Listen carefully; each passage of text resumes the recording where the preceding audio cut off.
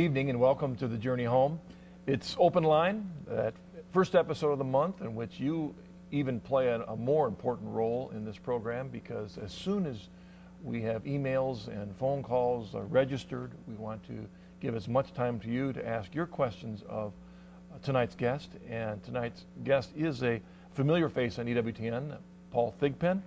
Uh, this is third time on the Journey Home at least? Uh, fourth, I think. Okay, yeah. all right. Well, the other reason Paul is here is that uh, he is uh, here also to join me for tomorrow morning, and when we'll be uh, taping another edition of the Journey Home Roundtable special, which hopefully you'll start seeing in the fall. You'll hear more about that as the fall approaches. Uh, special roundtable tomorrow on Methodists, and you, uh, Paul will be joined with Gordon Sibley and Chris Dixon uh, for the panel. But Paul, it's great to have you in the journey home. It's always a pleasure to have you here. Give you the usual handshake. Thank you, Marcus. You it is good to be uh, here. We were good just thinking, when was the first time we met? Uh, because we're both converts to the church, and and uh, I think you mentioned you were one of the charter members of the Coming Home Network. It was right? after defending the faith conference in Steubenville. You had uh, you made an announcement that uh, you were interested in getting together with other converts, clergy converts.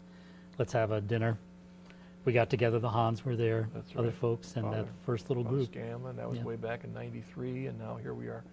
Really, this was our 12th summer, and uh, things are the Holy Spirit's still growing, and and really was out of that that the Coming Home Network developed, and then it was in talking about the Coming Home Network that Mother Angelica invited me to host this program to talk with converts each week. And uh, but the other thing, uh, you've got a new job title, right? I certainly do. I'm having the time of my life as editor of the Catholic Answer.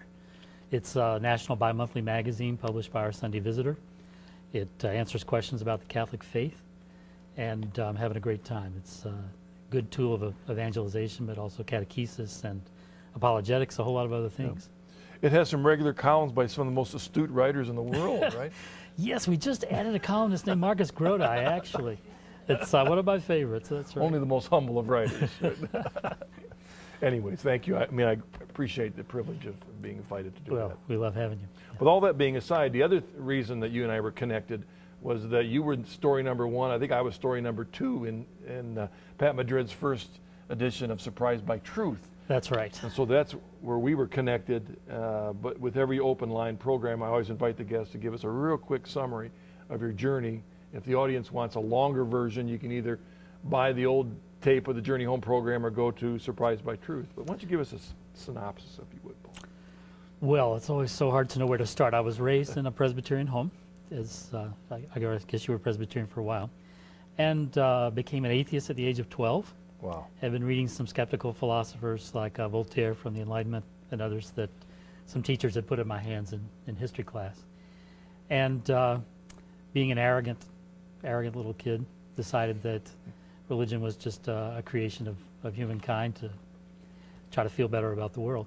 And I remained an atheist for six years until I was 18.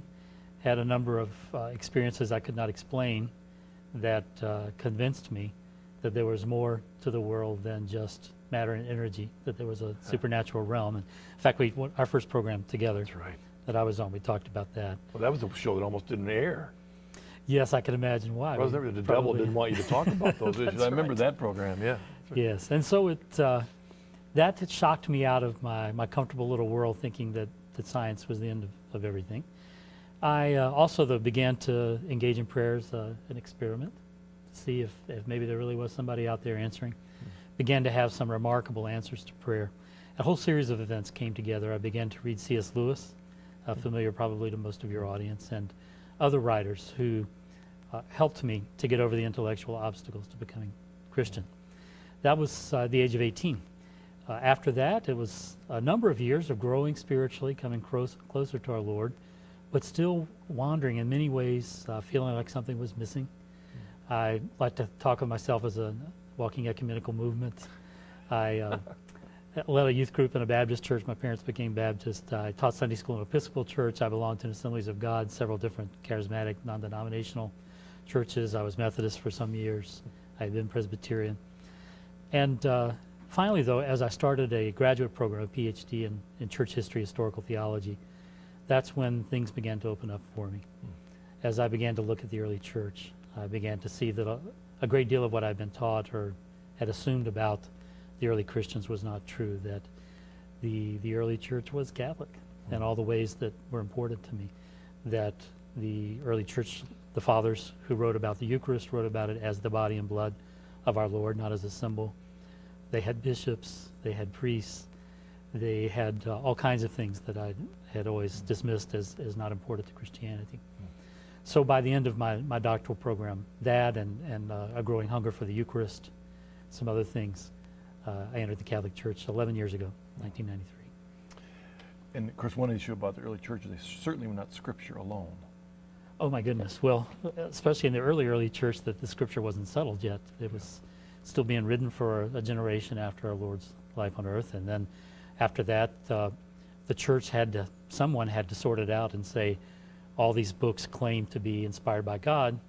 These are the ones that really are, and uh, in a sense, to, to judge scripture, not in a not in a haughty way, but the church was given the authority by God to discern.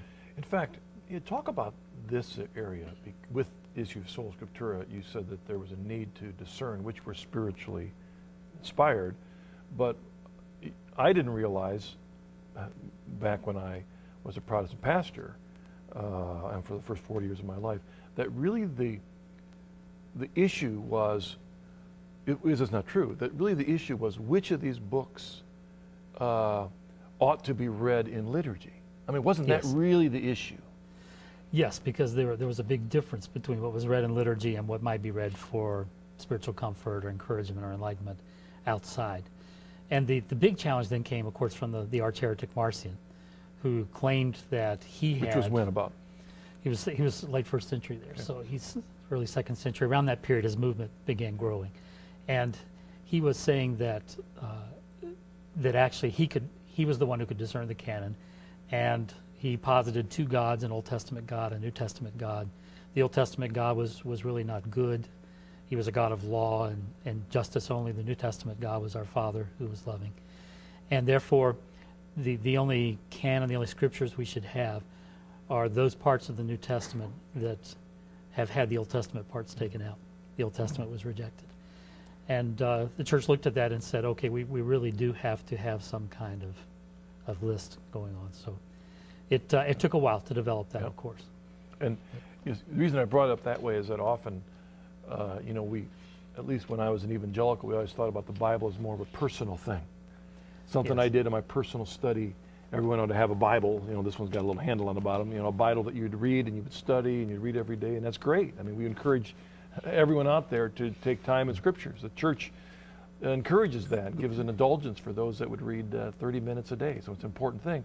But in reality, in the early days, there was no personal Bibles for anyone. It was which books ought to be read in Mass. And for the first 300 years, it wasn't only the canonical books. The Shepherd of Hermas was read, the letter of First Clement, some of the other Gospels, other Acts. Uh, we have a number of lists, right, that included books that aren't in our canon, and some of the books that are in our canon were, were rejected. So that's what it came down to. Which of the books were inspired canonical literature? And that brings us to this issue.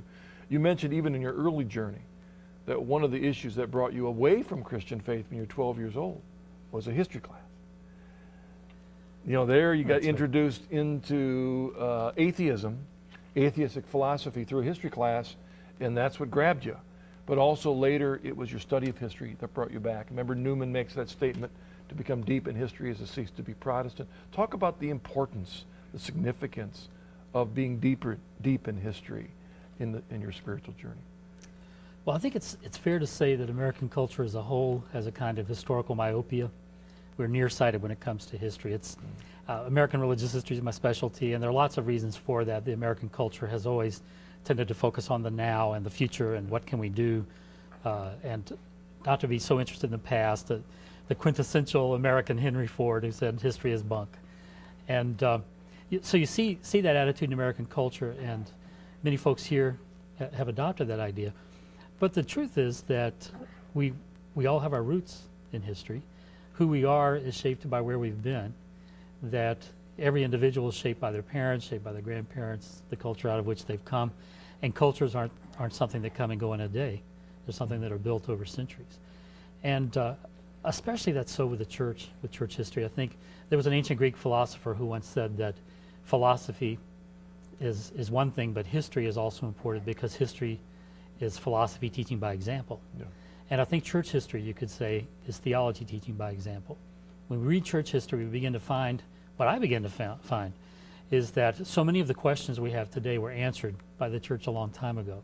That so many of the things that uh, problems we get into were problems the church faced before, and we can learn lessons. In fact, you mentioned Marcion when, when you described him in such cold terms. You know, in other words, he, he saw the Old Testament God this way and the New Testament God that way. It makes him sound so different than, let's say, pastors who might meet on the street today. But in reality, when you read history, he was a very winsome preacher. That's why he, he uh, attracted many, many people, convinced other preachers. He was very winsome, and there was a very fine line in his theology. And it took a while for people to realize where he was leading. And that brought it back to the authority of the church. Something else struck me today as I was flying here about this history. I was reading in a national news magazine, and it apparently in the a weekly national news magazine. And the week before, there had been an article about the United Methodists and how they had st- stood strong against same sex marriages, which is great. Well, in this issue, in the letters of the editor, there was a someone wrote in and said, "I appreciated the article about the United Methodists. However, they got their their their data wrong." And he said, actually, the Southern Baptists were the first mainline denomination to take a stand against same-sex marriage. And he said, I ought to know. You know, I'm an ethicist at some South, Southern Baptist seminary, and I wanted to write in, excuse me, but the Catholic Church has been against same-sex marriages for about 2,000 years. I mean, get your history right. Yes. I mean, talk about myopia. But how does one become deep in history? Because, I mean, there was an example of you as a young man getting history, and that took you off in the wrong direction. And we know of historians, like the guy that wrote that letter to the editor, that was deep in history, but he had a, a big part of it wrong. Well, I think for a lot of folks today, several things we could say. One is that because Americans are so myopic when it comes to, to history, that when you talk about history, they often think you mean back 100 or 200 years. Now, this is not a joke, but I actually had a friend one time who said, Oh, I love the church fathers. I love to read about them. And I said, Oh, really? Which one do you like most? Uh, he was uh, Pentecostal. And he said, uh, Charles Finney. Now, Charles Finney was an American revivalist who lived in the 1800s. And for him, that's what a church father was. And, and so we talked a little bit about how there's a lot more church history there than just that much. But uh, other things too. I, our culture tends not only to not to think about the past, but they dismiss it because they, they tend to think that somehow in our generation we have reached some kind of peak or some kind of higher level than all the generations before us. That because we're better technologically, because we have more science or we have more body of knowledge, that somehow we're wiser, somehow we're closer to the deeper realities, and that earlier generations were all just superstitious and stupid. And that's part of the problem, is that you can come to history and you can read it and think, oh, yeah, well, sure, these people talk about deliverances from demons. Sure, these people talk about hierarchy and authority and the bloody, with the, the body and blood uh, of Christ. But they were, they lived hundreds of years ago. They were superstitious. They didn't know the science we do. So that if you only have historical knowledge, but you don't come to history with a certain humility, recognizing that earlier generations have a great deal to teach us, and that we have our own blindnesses in many ways, then you can read an awful lot of history and still not get what history has to teach you. You know, just thinking, I often get the question on where do I begin with early church fathers, and there's any number of sources which we've mentioned over the years on this program, but one just came to, to mind that uh, would encourage you to take time to do the daily office of readings mm. every day. Uh, four years, uh, uh no, excuse me, yes, no, two years, right? Is it a circle of two years? No, it's one year cycle for the mm-hmm. office of readings but for every day of the year and feast days. And you can uh, get a copy of that in the four volume uh, Liturgy of the Hours, or I'm pretty sure the Daughters of St. Paul have a one volume, just the Office of Readings. But the beauty of that is the church has chosen readings of the early fathers, of the uh, uh, writings of Vatican II, a variety of, of authors throughout the last 2,000 years that will give you a flavor for the beauty of it is is when we start to think we're so smart today, and you read what some of these authors wrote in the second, third, fourth, fifth century, and realize their depth of wisdom. It's remarkable. I, I get questions in the in the magazine as editor there. I get questions from people in my Bible study weekly, and I find myself almost always answering them with a quote from one of the church fathers, because you don't have to go any further than that for most of the answers. They they were brilliant men, they were close to God, they had uh, great infilling of the Holy Spirit. He, the, the Lord brought them incredible wisdom as a gift of the Spirit. And I'm not saying that, that everything we need to know is in the Fathers, of course. But there's so much we can find there where you, you yeah. don't you don't have to search any further. Let's take our first caller. Hello, Peter from Wisconsin. Hello, what's your question tonight? Uh, yes, my question is for Paul. Um, being that he was an atheist at one time and, and is now uh, Catholic, uh, if you were approached by an atheist, you know, and, and they said, you know, what about God? You know, what what is God? You know, uh, you know, who is he? What is he? You know, what, what's the first thing that would come to your mind uh, to, to, say uh, for either one of you, for that matter? Thanks, Peter. Mm-hmm. Thanks for the fine question. That's good, Peter. Uh, there have been some theologians who have spoken of God as uh, that which nothing is greater than, and that's that sounds like a rather abstract way to d- describe it. But I guess if I were to talk to someone about what what I believe and who I believe God to be, then I would have to start there. That all the things around us that we see, feel, touch, hear that they come and they go. There's a there's a, a passing, a, a, temporality about them. They move through time, uh, a corruptibility about them that they they have a, time of ending, but that uh, and that such things cannot come about on their own. They have to have their source in something that itself doesn't come and go, that doesn't uh, doesn't have the ability to corrupt or become less than it was, and that that's what God is, and that that's who God is, and that the the amazing thing is that the, the ground in which everything else finds its origin is not just a thing but a person. And that's what sets us apart, uh, Christ, the Christian revelation, from so many of the claims of some of the Eastern religions. That it's not just a, a force or an energy field of some kind, but that there's actually a person uh, from whom all other persons derive their personhood, after whom they've, they've been made in his image. And so that's how I begin to talk anyway, to ask him, how can there be the things that, that are to come about by themselves on their own, uh, to have the kind of order that they do. It's again, it's a very old argument you, you find in early times that there but, must be someone that's, that's the at the very beginning, though, isn't it? Though I mean, that is the the oldest argument, even though many 18th, 19th century philosophers kind of poo-pooed the argument from design. But yet, isn't that cause and effect? One of the well, oldest? in information theory now, for instance, yeah. in science, they're beginning to show that if if you look at uh, the mathematics of it, the probability that we could have the kind of information built into DNA, for instance, that we do, is so extremely high that in any other situation, if we were to say it's by chance, then, then people would laugh at us. Yeah. It's, it's not random, it's not chance. Yeah. Which is part of the reason why many scientists are looking, are digging deeper for something, you know, invisible out there, know, something that uh, gives meaning to and that's why many scientists are believers, too. That's right, exactly so. right. Let's go to the next caller, Richard in Rhode Island. Hello, Richard. What's your question? Hi, thank you. I enjoy the show. Thank you. Um, I have never been able to understand why is the body and blood presence of Christ necessary in the Eucharist? Why can't it just be symbolic like it's taught in a lot of the Protestant circles? Right. I've never been able to get a good answer to that question. Richard, thank you very much. Great. Thank you, Richard. I think it's important for us, first of all, to recognize that when the, the Catholic Church teaches something, they don't teach it because they think it's necessary for something else, but they teach it because they, it's true. And uh, it, Jesus could have given us uh, a symbolic Eucharist, but Jesus didn't give us a symbolic Eucharist. He gave us his real presence. He gave us his real body, blood, soul, and divinity there. And when we know that, then of course there are all kinds of things we learn about it, the, the grace, the glory that comes to us through that, which makes us very glad that he didn't just give us a symbol. But uh, you know, I've I've seen the, this kind of idea sometimes in, in other situations too, where, for instance, people will say, "Well, why did God have to uh, have Mary immaculately conceived?" Well, I don't know that He had to do it. Uh, theologians have discussed that for a long time. The church doesn't make that claim that it has to be had to be that way, but simply that it is the way God did it, and that God revealed that to the church, and the church has given testimony and dogmatically defined it. So I think it's the same way with the body and blood. Now, maybe in, in God's own minds, there, his own mind, there are reasons uh, why perhaps given other things that it was necessary.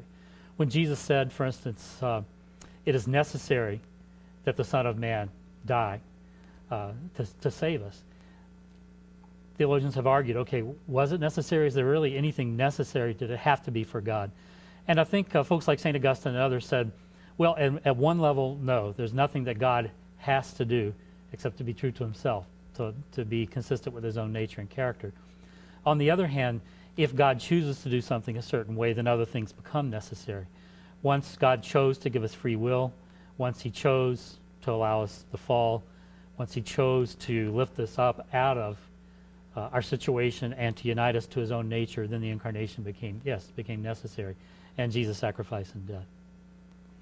We had dinner tonight with uh, Chris Dixon as we were preparing for tomorrow. One of the discussions that he brought up was this uh, the struggle amongst the mainline Protestant denominations that many of them have drifted to a more liberal social action perspective.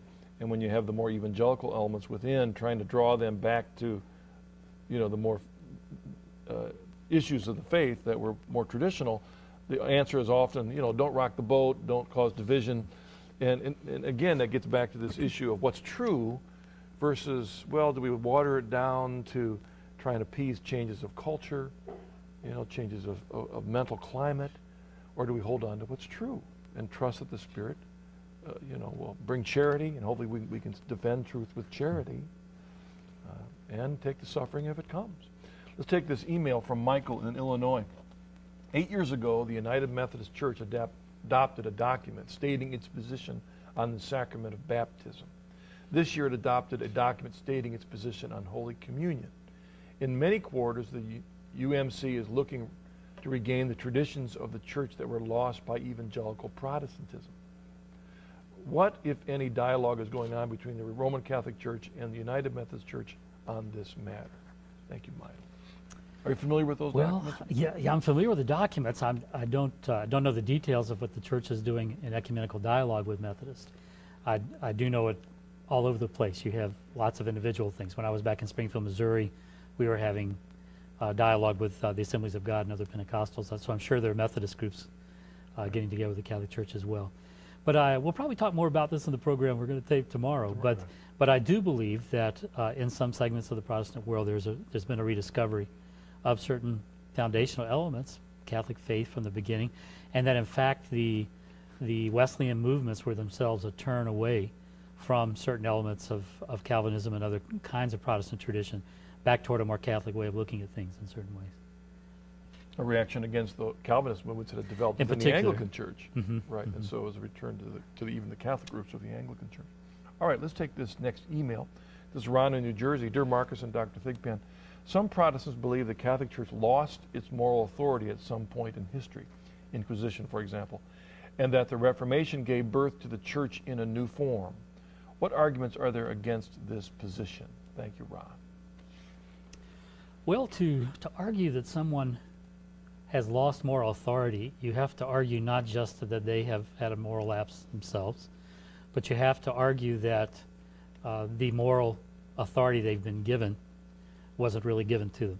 Now, let me be a little more explicit.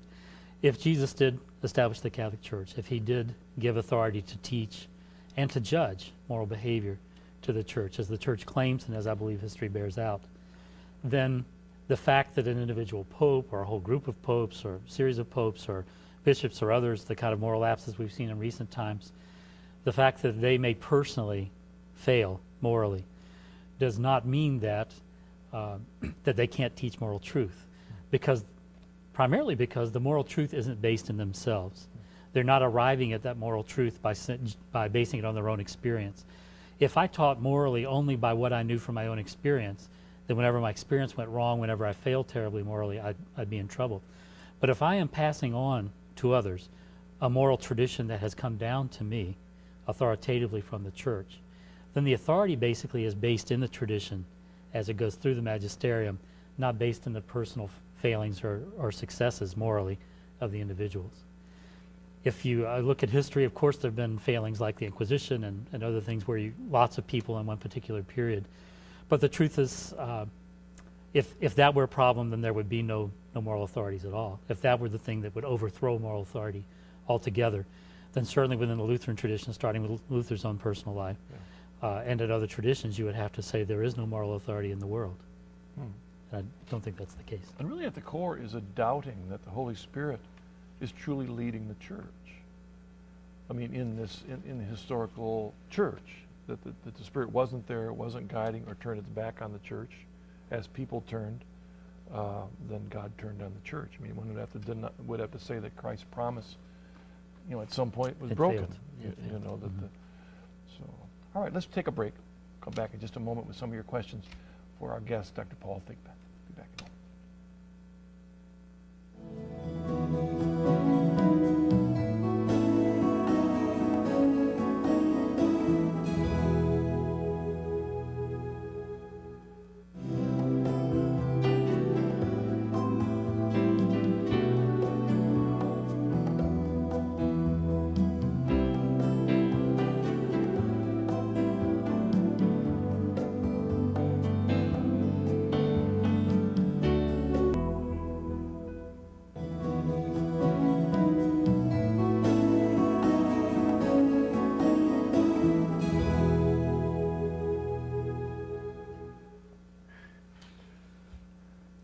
Welcome back.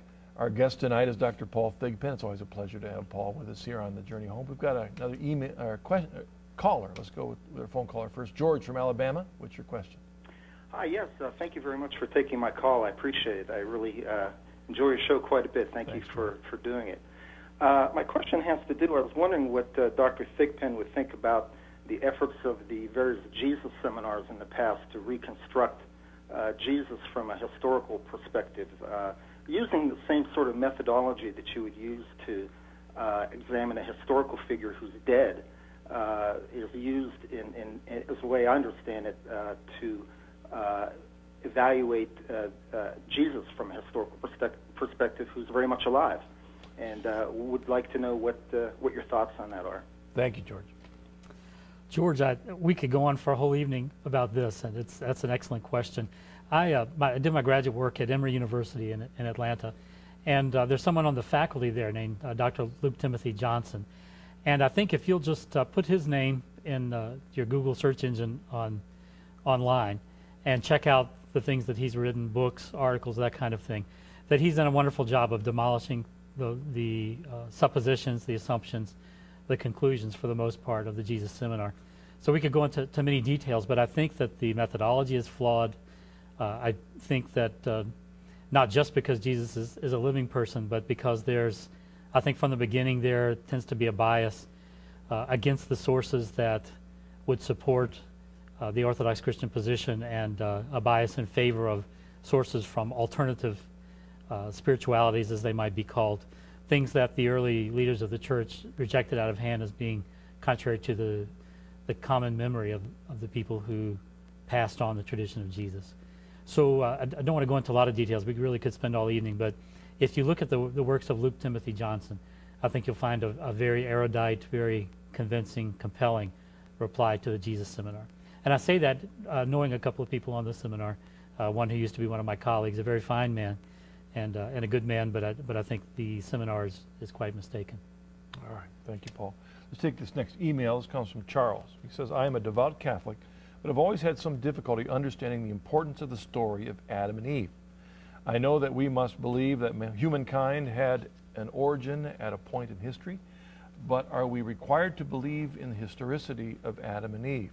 Were they actual persons or metaphors for human origin in time? Thank you, Charles. Well, we're moving out of my area of church history now. uh, I, what I would do is refer you to the Catechism. It's very carefully worded there. We can it is true we can speak of our first parents. We can speak of uh, Adam and Eve and, and that story as representing an historical event, a true historical event. But as the Catechism puts it, we have to recognize that there is some figurative language there.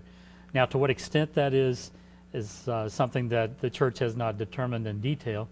And until the Church determines it in detail, I certainly won't, won't speak on that. But there are, uh, there are a number of things that we learn from that and that we have to remember. And one is, yes, that the human race did have a a particular origin did have uh, a certain set of parents first. We didn't come about as some uh, modern archaeologists and, and, anthropologists think by having uh, different races come about and, and be separate. That's very important because there, especially in Nazi ideology and other ideologies that have been racist, there have been attempts to say that human, that, that not everyone we would consider human today really has the same origin, that they've come from different species, and therefore it's uh, it's certainly fine for one species to dominate the other because the other is, is simply an animal of some sort. And uh, I, I, don't think I'm exaggerating when I say that the church, especially during the period of, of Nazi ideology coming to, to power in Europe, that was one of the points they wanted to make from the book of Genesis and from that story to remember that the church has insisted, in part based on Genesis and other revelation, that we all do belong to one human family. We have first parents. And that there was a fall. We were not created the way we are now, that there was a fall. And that in Adam, all have sinned in, in, a certain way, that original sin is true. We have the roots of, of that doctrine in that story as well. So lots of important things there, trying to, uh, to debate the first chapter versus the second chapter where you have different order of events and that kind of thing, for, for me have been rather fruitless. But I read the story and it, it, touches me very deeply. I've been doing genealogy recently and uh, remarkably because my family eventually connects up to a couple of royal families in Europe, and the royal families tended to keep better genealogies than, than most of us.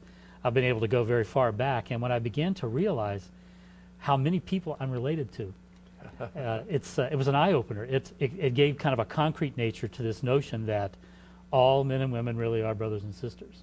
We really do all go back to the same parents. And that's something we must never forget. Every time we, we get on a bus and we look at somebody sitting next to us, or we, we walk down the street, or we look at a colleague, or a student, or a teacher, uh, we look at our enemy, we have to remember that they have the same parents we do. We all go back to, to our first parents. And if we can get that down, the book of Genesis will have done a great deal for us. I mean, on the one hand, the church allows this, this freedom within bounds of dealing with how to understand Genesis 1 and 2. But when it comes down to it, we look at the way the theology is brought out. John Paul, for example, he has a book called, I think it's called Love and Responsibility. I think that's the title. I think where it's a collection of his Wednesday addresses over a long period of time, which he uses Adam and Eve and, and the Genesis story as a foundation for his uh, understanding of the body. And, and there's no apology for John Paul. Speaking of Adam and Eve as historical figures with an historical act of disobedience and the ramifications of that. And of course, we see that uh, literalness in the teachings of Jesus as well as the, mm-hmm. the New Testament writers. So, you know, there's one thing about looking at you know, the, the range in which we can understand mm-hmm. that. But there's the, there's the true application of them as historical figures as a foundation for our theology. Let's go to Tom in Illinois. Hello, Tom. What's your question tonight? Hello. Hello. Um, I've enjoyed your comments about how you, uh, about being a student of history, to be a student of the church. And my question is, um, can't I remain a Protestant and still enjoy the church fathers and uh, the sacred writings that uh, so many of the notable Christians of the last 2,000 years have written? Uh, can't I remain um, in, in the uh, branch of the faith that I'm in? Thank you, Tom, for question. Thanks, Tom. That's a good question. You can certainly learn a great deal, surely, from the church fathers and from others. The question that comes to all of us is, uh, is the basic question of truth. We mentioned this earlier. I, uh, I, th I, think I started out looking at the Catholic Church because I, of my love for history and connectedness and rootedness and that kind of thing. But when somebody finally asked me, you know, at a later time, why did you become Catholic? What I, the only answer I really could give was because I believe that what the Catholic Church teaches is true. I believe that what the Church teaches about itself and the claims it makes for itself are true. And if they are, then Jesus wants me to be, be Catholic. And it was by reading the church fathers, especially, that, that I came to that conclusion. So, for instance, in my own tradition, as much as I loved it, as much as I learned from it, wonderful people in it, learned a great deal about loving God, about the Scripture, uh, when they thought that the Eucharist was only a symbol of the body and blood, when I read what St. Ignatius and St. Clement the folks who had actually learned their faith from the apostles said about it. I mean, not to speak of what Jesus himself said in the scripture, but that they, they made it very clear. They said, and those who say that it's not the very same body and blood that was crucified for us, they've separated from us. uh, things like that, I, I began to realize that if I wanted to be in continuity with Jesus in that way, if I wanted to affirm the truth as he taught it, I didn't really have the liberty of turning away from that. And there were enough major issues like the Eucharist uh, in which I, I, came to conclude that it's not that I couldn't enjoy or, or benefit from reading all these folks from history, but that, I guess to put it in a strong way, that if I continued with certain doctrines that I believed, and if I continued outside the organizational, visible structure of the Catholic Church, that according to the judgment of people like St. Ignatius, St. Clement, St. Augustine, I was putting myself outside uh, certain bounds that God didn't want me out of. All right. Thank you, Paul. Let's go with another email. This is Jeff in Jacksonville, Florida. Hello, Marcus and Paul. I am a fan of the Journey Home and of EWTN. I am not Catholic, however, and I have been working to learn as much as I can about the Catholic faith. I watch EWTN often. I am currently attempting to understand the Catechism. I am seriously interested in taking an RCIA class at a local church. There are several Catholic churches in my area, and I am unsure what to look for. What makes a good RCIA course? And what can I expect from this instruction? Thank you, Jeff. Good question. Huh, That's Paul? an excellent question. You might be able to answer better than I. I've taught RCI. You can come on up to Savannah, and uh, we'll, we'd love to give you a great RCI class at our parish. But uh, I think what you want, especially as you're already a Christian, you, you know a lot of, uh, of Bible, probably, and doctrine. Uh, there are some RCI classes in parishes that tend to focus, I think, too much on feelings and feeling good and that kind of thing. And you go to them, and what you hear again and again is, is Jesus loves you and he loves all people, and you know, he wants you to, to be joined with him. And those things are true. But if you go to an RCIA class where you're not getting Catholic doctrine. The things that you need to know, then you probably need to find another RCIA class. You need to, uh, if, if you're asking questions when you go to an RCIA class and you say, well, what is, what is the Catholic doctrine of the Eucharist, or what do Catholics teach about the Immaculate Conception? If your answer from the teacher is something like, well, those things aren't really very important, or what's really important is just that Jesus loves you, you need to find another class because you really need to know what the Catholic distinctives are. Uh, would it also be important for him to get a, a, a, good, dependable, trustworthy sponsor? Oh, that's critical. Yes, someone, someone who knows the faith, someone who's uh, who's devout, someone who has a, a, deep prayer life. All those things are, are so and important. can help you when you are at RCIA to make sure you're they are teaching what's true because this is a you know a well-trained faithful Catholic who's standing with you to make sure that what's being taught is true.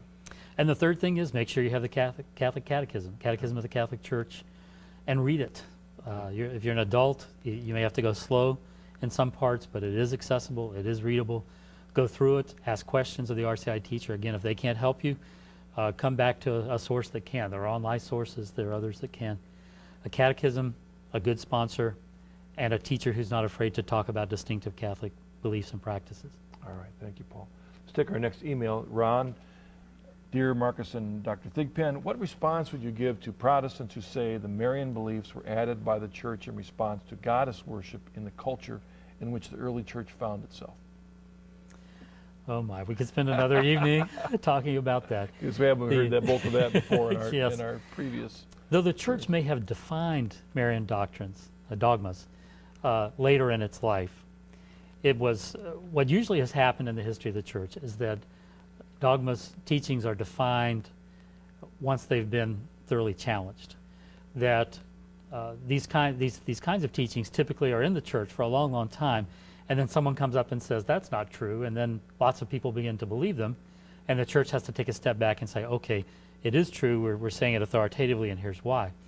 That's what happened with Marcion, the canon. We, the, the scriptural canon that we have, the list of books, uh, was provoked, you might say, by someone who rejected the books that the church was teaching. So I think what you have to, to see is to look back through church history into early times and see what people had to say about Our Lady and see that even in the early centuries they were already talking about her uh, unique purity. They were talking about uh, prayer to her. They were uh, early on. We have uh, a record of an apparition and all kinds of things. So that when the church defined these things later, it was simply giving its affirmation in a definitive way to what the church had taught and believed. So it's not new things.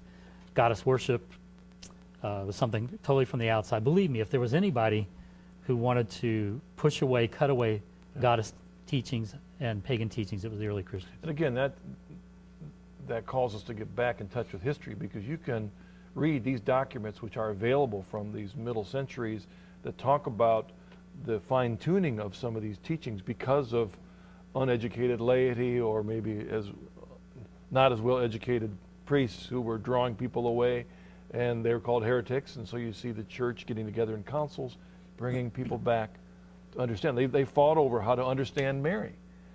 I think you know you have to be careful to, in saying that just because Mary has an exalted position, that sounds a little bit like pagan goddess worship. Then one must have led to the other. You get those kind of claims in Tim LaHaye and, and Jerry Jenkins' books, yeah. Left Behind books. Uh, that kind of idea that somehow the Catholic Church is Babylon and teaches Babylon. But you always you have to remember that there are parallel developments. There there were uh, not even theologians, but non-Christians who have tried to make the argument that Jesus is just another version of the corn king who died and was resurrected. Why? Because in pagan religion, you've got very similar stories. Or, or the, the cult of Mithras had a sacred meal. And so they say, oh, see, communion was just an imitation of this pagan sacred meal.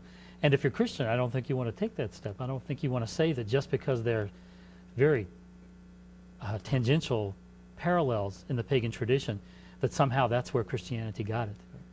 And again, that all denies the fulfillment of Christ's promise that he gave the Spirit, the Holy Spirit, to the apostles to guide them into truth. And trusting that that's what the Spirit did in these really key, important yes. doctrines. Trusting that. You throw that out the window, you end up with all these other views, and pretty, pretty soon you have nothing left. But it's trusting. I mean, where's the authority to determine what's true? We believe it's in the Spirit that guides the church.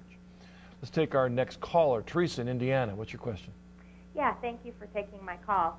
I teach an apologetics class for our local parish, and oh, we will be covering um, the rapture belief in um, in one of our sessions this fall. And I'm reading Dr. Thigpen's The Rapture Trap right now to help me prepare. And my question for Dr. Thigpen is, what do you think? Um, my class is only an hour, hour and a half, so I can't get everything in there. But what do you think are the most important things to highlight um, about the Catholic teaching about the end times and, and how the rapture is that's not true. All right, Teresa. Especially if you get there and your whole class is gone, you'll wonder did they get you know? did you get left behind? That's right. There, uh, we do Ascension Press that publishes that book also has a, a short version of it you might want to check out that would be perfect to just go through in an hour. But I'll say these things. Uh, number one, it's very important to help folks uh, understand, coming from a Protestant background, uh, especially, that this is not a Catholic Protestant argument that the majority of Christians, both Catholic and Protestant and Orthodox, throughout the history of the church, have known nothing of a rapture secret rapture doctrine. So you've got to help them understand this is not just something that Catholics cooked up. Uh, you can take them back to uh, Martin Luther, founder of the Reformation, to John Calvin, to Wesley, who founded the, the Methodist tradition, and uh, Ulrich Zwingli with some of the Reformed tradition. Not a one of them had any clue that anybody could, out of the Scripture, get this notion of a secret rapture. So that's very important. The second thing is to help them understand that it is a very recent notion, that we don't ha- have any real documentation of the, the current notion being around until the beginning of the 1800s, maybe a couple of similar ideas in the, the 1700s. But it's a, it's a very novel idea that most of all of the church fathers, all the medieval theologians, all the great Reformation leaders, and folks up until that time would look at it and say, that's just crazy. Where does that come from? Then I think you would uh, you'd take them, use the, the passages in the book that I noted to take them to the places in Matthew 24, in 1st and 2nd Thessalonians that are often used by rapture believers. And using the things that I have in the book, show them how those passages don't apply to a secret rapture at all, but simply to the second coming of Christ in glory, which all Christians agree with. And I would hope that you'd have at least a few minutes at the end of the class then to make sure that you go over the main points of what the Catholic Church does teach, to make sure they understand especially that the Catholic Church does not deny the second coming of Christ by any means, but denies that there will be a third in between coming, a secret rapture. Because there's some Protestants who use the word rapture indiscriminately between the secret idea and the final coming. And if you say we don't teach the rapture, they'll think you mean you don't believe Jesus is coming back. So make sure you do say what the Catholic Church does teach in one of the last chapters of my book, I have just a, a few points from the Catechism with the re references to the Catechism. So even in that sense, the, if, the, if the teacher uses your book, but the students have the catechism and scriptures, she could lead them through those too. That's right. And one other thing I, I will say is that the rapture doctrine uh, has a very mistaken notion of suffering and, the, uh, and its role in the Christian life. And you need to help folks to see that one reason the rapture doctrine is so attractive to people is that it promises them an escape from the great tribulation at the end of time. And part of what you have to help them to see is all through the scripture and all through church history, God uses suffering as a, as a way of cleansing us and purifying us, and that the innocent do suffer for the guilty in a way that joins our sufferings to Christ. All right. Let's take our next caller. This is Pamela from Texas. Hello, Pamela. What's your question for us tonight? Uh, hi, Marcus. Okay. Wonderful program. Thank, Thank you for taking my call. Yep. I recently, for the first time, I'm a Catholic, but I've just read the Old Testament for the first time. And first, it was just a liter- literature exercise for me. Uh, and then, more seriously, I reread it. And both times I've been astounded and don't know quite how to handle the feelings that I have towards God the Father, who seems to me arbitrarily nasty. um, uh, genocide is the Canaanites, the bulls, everything Yeah. is just over the top for me. And Yeah. how does one deal with feelings of, quite frankly, dislike for this father figure that I thought was totally different from Jesus? Thank you, Pamela. Thank you. Oh, Pamela, that's an excellent question. I was just talking to someone the other day as a result of some of the, the liturgical readings in church about, uh, for instance, with Pharaoh, how God hardens Pharaoh's heart, and then all this calamity comes, and and it seems like a, it's a very hard saying. If uh, if God hardened his heart, how can he be responsible? And once again, we went back to Saint Augustine, and uh, and some of the other church fathers who talked about how that when God moves on, on a person, he he moves can move in a certain way that their response then depends on the, the way the disposition that they have according to previous choices so that for instance uh, in the same way that when sunlight shines on wax it melts it and makes it soft but the same sunlight shines on clay it makes it hard and brittle that you have to realize that even god in his mercy by giving pharaoh another chance another chance another chance that kind of mercy for a person who had predisposed their heart the right way would, would melt but for Pharaoh, because of his previous choices, it hardened. So the scripture says God hardened his heart. But behind that, St. Augustine says we have to understand that hardened in the sense that his response, that, that God's action led to the hardening, but it was still his response immediately responsible for that. I know that doesn't answer your question about the, uh, the wiping out of, of uh, some of the peoples in, in Canaan, and that is difficult to understand. But what it does press me to do is to, to remember that there are things in there that are, are dark mysteries. And as C.S. Lewis once said in, in one of his letters, that we must never, ever, uh, that we should read the whole scripture, but we should never let any scripture convince us that God is not completely good and in him that there is any darkness at all. And that's why you have to read the New Testament along with it and somehow trust that when we get to heaven, it'll all be explained. That sounds like a cop out, but it's, it's, it's a dark thing. We, we can't look into it completely. In fact, I, I mean, there's so many places we go in that because we don't, don't have enough time. But you know, we have Moses doing the best way he can to describe what how he understood to people who couldn't read. You know, we're not scientifically trained. Uh, you know, trying to describe this God. So often using anthropomorphic images to describe God. He'd get jealous and turn his mind. Well, does God really change his mind, or is that the way they're perceiving it? There's lots of issues, uh, you know, that deal with that. Um, and uh, I, I, think, but again, it draws us back to the issue of being careful of private interpretation. Mm-hmm. You just must be careful of private interpretation because even the devil can use a passage and to use our misunderstanding of it to pull us away, to tick away at our, at our heart, make us hardened. Uh, and, but that's why I'm glad you called, you know, that in a sense of uh, find someone else nearby, a priest or someone to, to talk to locally about that passage. I think, for instance, th- th- you could ask the same question of contemporary situations. Why do all these people die of a plague? Why do all these people, innocent people, die of an earthquake? Why do they die of things like that? Uh, if God is ultimately behind all Why things, then why do children die? And then we make it personal. You know, I, I lost, we, my wife and I lost a child in the womb. If you ask a why of that kind of question, or that kind of question, it you don't get very far. And in the end, whether it's our own pain, the pain of our neighbors or others, the pain of people 3,000 years ago, what we have to say is, I, I don't know why that but I do know that God is good, Yeah. that in Him is no darkness, and that just as I've seen in my own life, that out of great tragedy, God is always able to bring a greater good, that somehow it was within His purposes, and I, ha- I have to trust Him with that. If you read John 1, reflect on John 1 about the light of life in Jesus and how those were blinded by the darkness. You know, those that couldn't really see him, he, who did not receive him when he came to them. And we see that image of the Old Testament, but then we see those that received him were then invited to become, given the power to become children of God. I mean, we see this whole New Testament fulfillment, fulfillment of only what they had looked forward to and hoped for in the Old Testament.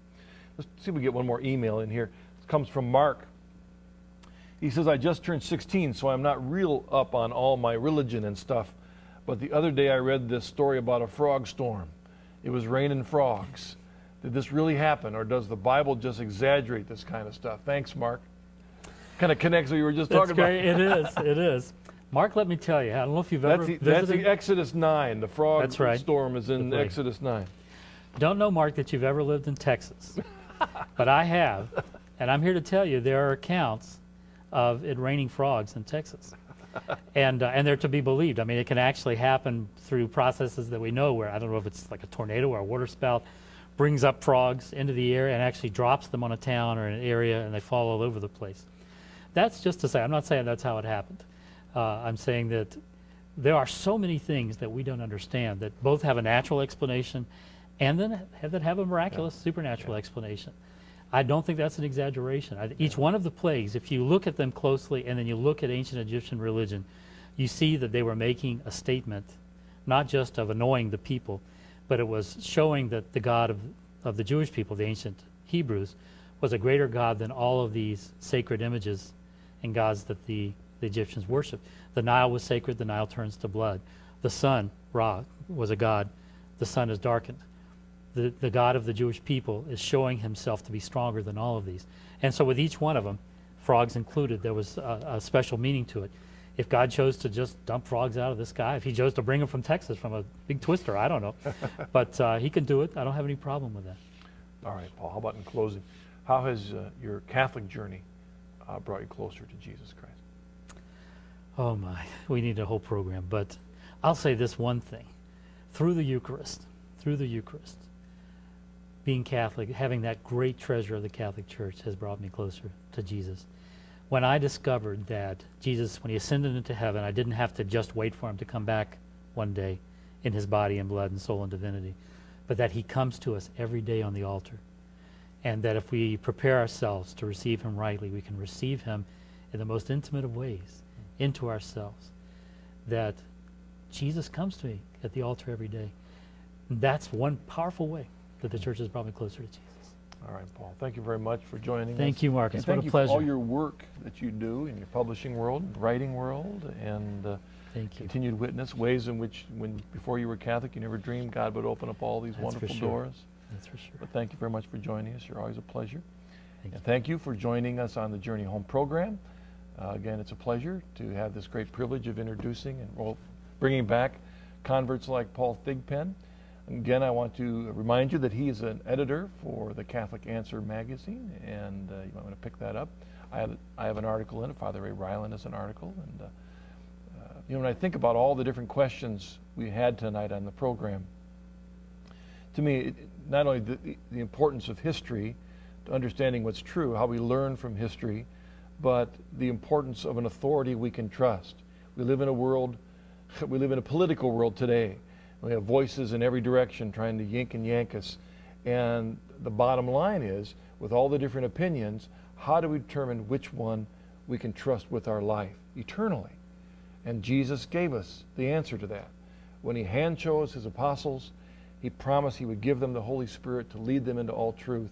And he said, I will build my church on the rock of Peter. That's the blessing of the church. Thank you for joining us. I'll see you again next week.